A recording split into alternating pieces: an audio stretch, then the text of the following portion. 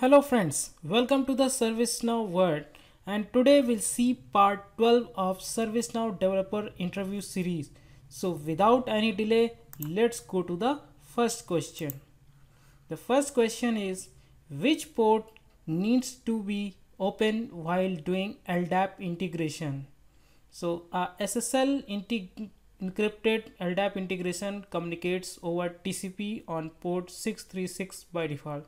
So basically port 636 needs to be open for LDAP integration and basically it's open by, by default you don't have to open explicitly.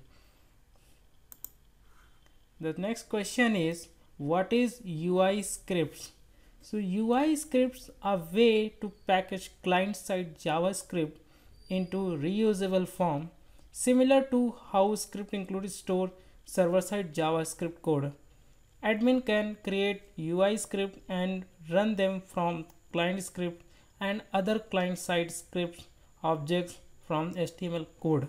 So basically in other words we can say that like uh, UI scripts are similar to script include in script include we are writing the server side code and we are calling from the server side and however in uh, like in cases if we make the client cloud callable we are calling from the client side as well.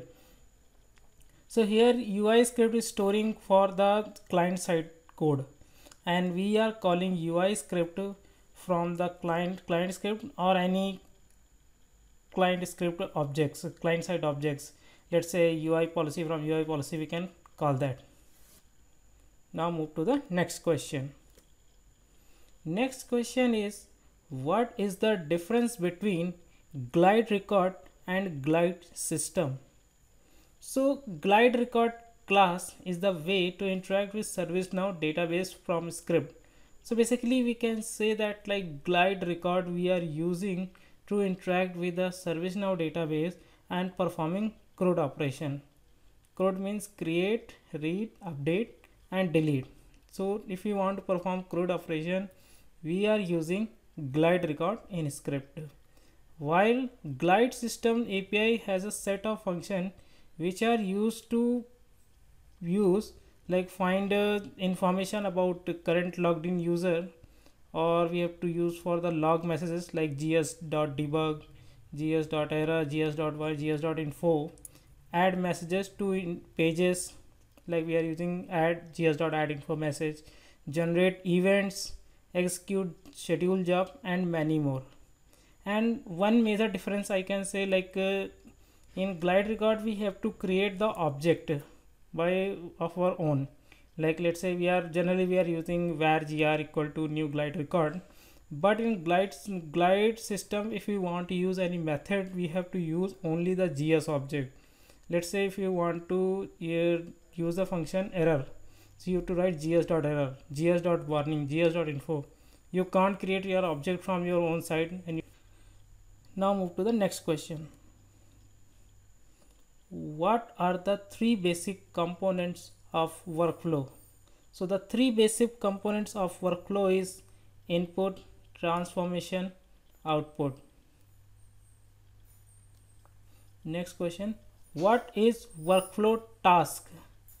A workflow task is content item which has been assigned to a specific user or a role indicating that the user or some member of the role needs to be take action on the content item.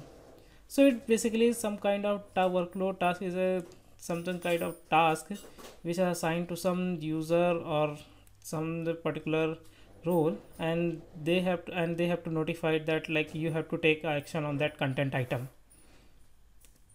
So this is the bonus question. Generally when the interviewer asking about the so many questions about workflow so they will ask like uh, this is generally it's not like according to them it's a, like a value based question. It's like how do you create an effective workflow? So you can say that like uh, when we are creating the workflow we have to keep the goal in mind or objective of the workflow. Like what we need to achieve by creating this workflow. Identify flaws. Take a deep look at your workflow and see where delays may be sprouted.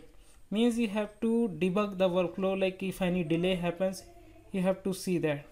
And then you have to test it and then you have to publish it. Simple. In the last video i have asked what are the best practices for writing business rule? So there are the few best practices i have listed down. That is we have to use uh, conditions appropriately. We have to prevent recursive business rule. If you use a recursive business rule it's calling itself again and again and which will affect the performance as well. Keep code in enclosed function.